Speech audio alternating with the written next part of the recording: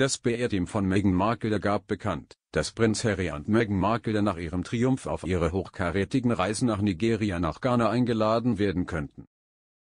Doch der Staatschef deutete ein Zeichen dafür an, dass Ghana nicht vorhabe, das Ehepaar Montecito ins Land einzuladen.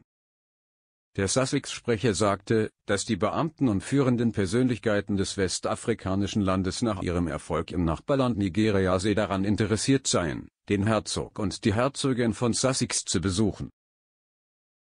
Die den Mirror Insidern exklusiv mitteilten, sagen, dass die führenden Persönlichkeiten und Künstler des Landes daran interessiert seien, dass die Sussexes nach Accra fliegen, der Hauptstadt von Ghana, die von Harrys verstorbener Großmutter, Königin Elisabeth II., so geliebt wurde.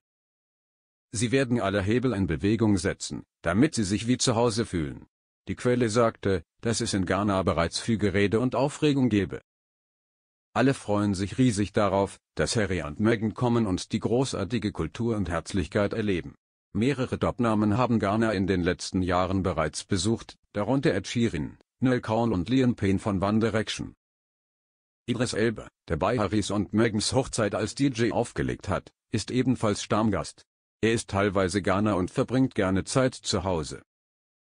Die Quelle fuhr fort, Harry wird es bestimmt nicht an Leuten mangeln, die ihn herumführen, und sie werden ihm auf jeden Fall den roten Teppich ausrollen und einige der besten Afrobeat-Künstler zusammenstellen, um ihn und seine Familie willkommen zu heißen. Vielleicht ist es also nur eine Frage der Zeit, bis Harry und Meghan herauskommen und den berühmten Yellow-Preis probieren.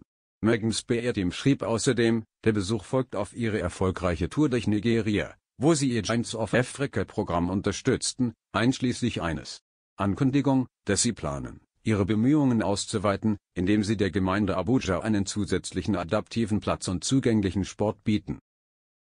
Heute lehnte die Sprecherin Ghanas, Präsidentin Nana Adedana Akufo-Addo, jede Einladung an Meghan und Harry ab und sagte, dass sie angesichts ihrer Kontroverse keine Pläne mit den beiden hätten.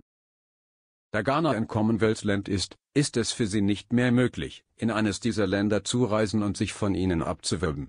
Aber lassen Sie sie dann nach Ghana gehen und sehen, ob sie einige Lektionen gelernt haben. Nicht mit Kriminellen rumhängen wäre ein toller Start für die nächste Tour. Was ist mit allen Projekten in der Pipeline? Hat sie nicht auch ein paar Overalls und einen Podcast aufzunehmen und eine Deadline für einen Dokumentarfilm? Hat Meghan die Ghana-Anfrage der Königin nicht zurückgewiesen, oder ist sie jetzt zu 21% Ghana? Das Problem ist jedoch, dass Ghana bei weitem nicht so korrupt ist wie Nigeria und daher möglicherweise niemanden in der Regierung finden kann, der es beherbergt. Zu diesem Zeitpunkt würden nur korrupte Regierungsbeamte diese Betrüger irgendwohin einladen wollen. Allein die Tatsache, dass Megans BR diese Idee verbreitet, zeigt, dass die gesamten Sicherheitsbedenken die völlige Lüge sind, die sie war.